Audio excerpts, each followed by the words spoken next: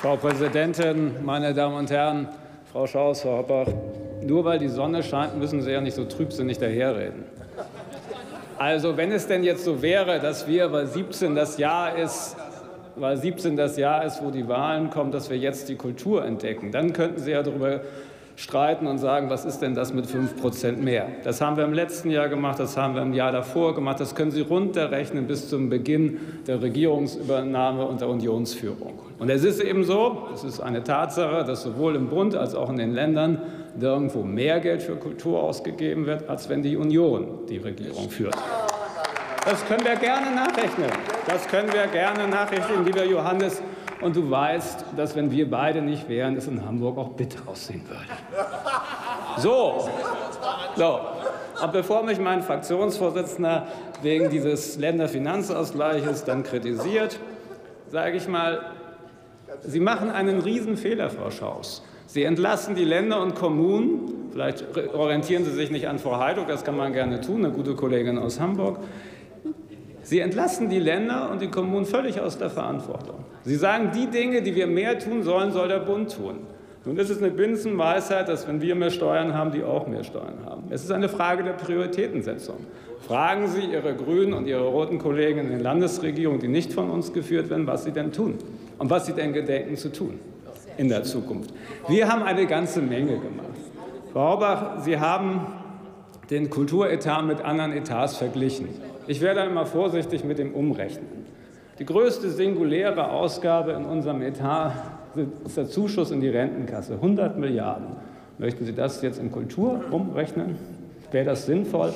Dieses Gegeneinander macht keinen Sinn.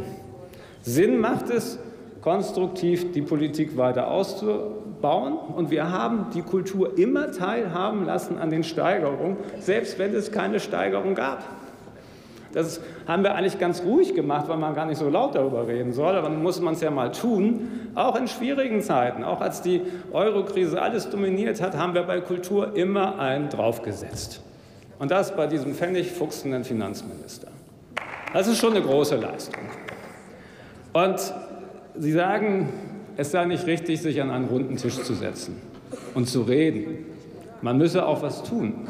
Ich meine, Monika Grüters hat es doch gesagt, ich will das auch nicht kritisieren, ihre Planübererfüllung, 53 Prozent äh, Frauenquote in ihrem Haus, da das nicht durch Männereienerschießung erledigt worden ist, ist das doch völlig in Ordnung.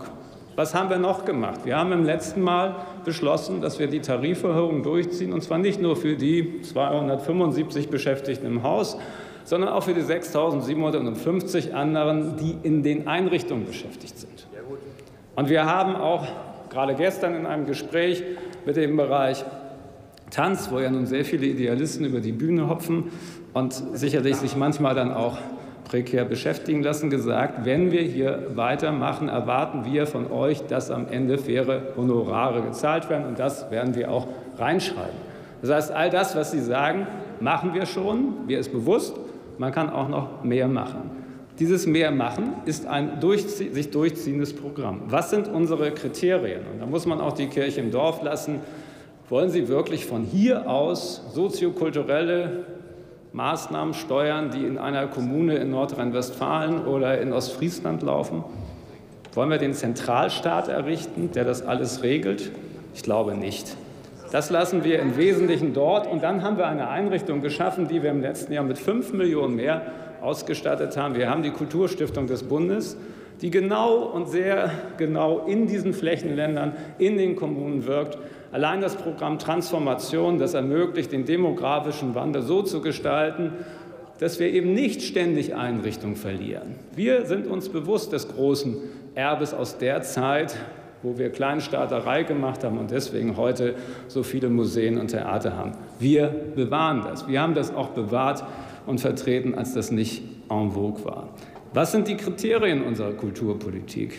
Die müssen sein Exzellenz, Innovation, nationale und internationale Bedeutung und Demokratisierung der Kultur. Das ist das, wofür der Bund stehen muss, wofür die Bundesregierung und die sie tragenden Fraktionen in diesem Parlament kämpfen.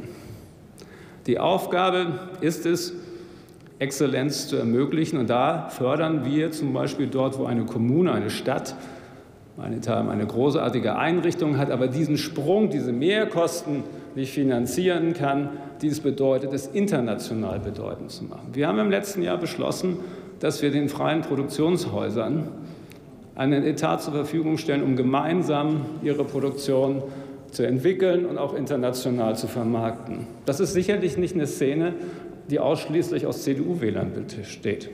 Und das ist auch ein Unterschied. Das kümmert uns nämlich nicht.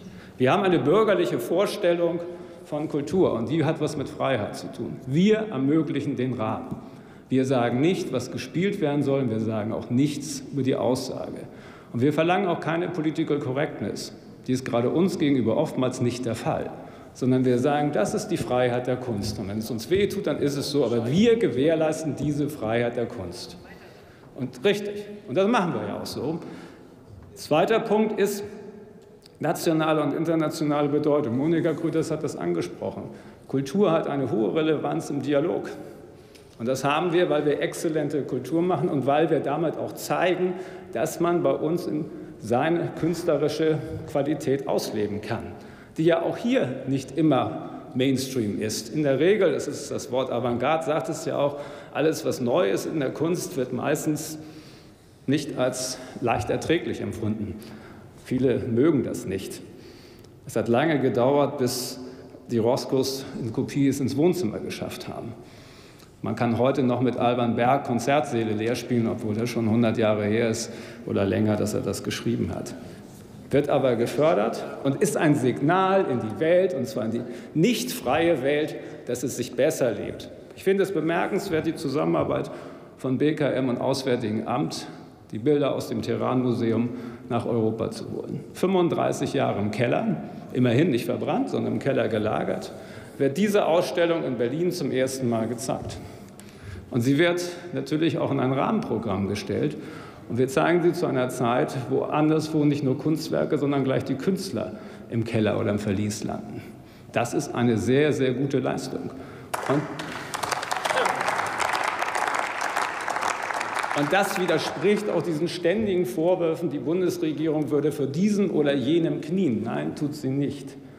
Aber wenn man über dieses Knien oder Blindsein redet, müssen Sie sich nicht manchmal fragen, ob es nicht komisch ist, dass Sie sich mehr Gedanken machen über die Qualität des Verbraucherschutzes in den USA als über die Menschenrechte in Russland? Er kann nichts dafür. Das stimmt. Nee, das ist nicht Unterste, sondern das, was Sie machen, ist Unterste. Und ich finde auch, dass wenn Sie sich Ihre eigene Rhetorik mal ansehen, dann ist die ziemlich spiegelgleich mit der Rhetorik vieler Leute aus der AfD.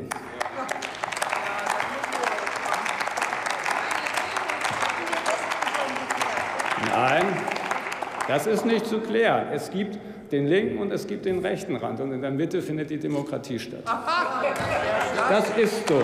Das ist so. Und es ist so, wir können ja gerne inhaltlich diskutieren, das haben wir im Bundestag auch getan. Und ich glaube auch, dass Erklärungen, die wir gemeinschaftlich getroffen haben, wie die Armenien-Erklärung, Ihnen so leicht nicht von den Lippen gehen, weil Sie genau wissen, für welche Systeme Sie eingetreten sind und auch noch heute eintreten. Das ist einfach. Herr Kollege, ich muss Sie bitten, zum Schluss zu kommen. Wir haben uns darauf verständigt, dass alle Ihre Redezeit einhalten. Ich bitte Sie, das auch zu tun. Sie ist überschritten. In den letzten sechs Jahren ist es mir noch nie passiert, zu überziehen. Ich freue mich, dass wir den Kulturetat in den letzten zehn Jahren, neun Jahren nicht überzogen haben, aber deutlich immer ausgebaut haben. Herzlichen Dank. Als nächster Redner hat Burkhard Liebert das Wort für die SPD. Entschuldigung, Tabea Röster.